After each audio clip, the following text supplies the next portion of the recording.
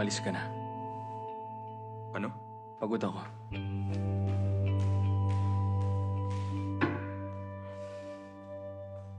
Thank you.